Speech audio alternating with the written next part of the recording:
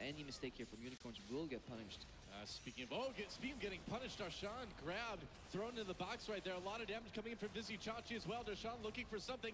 Teleport Uh, coming in. That's not going to be a place you want to go to. A lag? I think that may have been supposed to be a flash.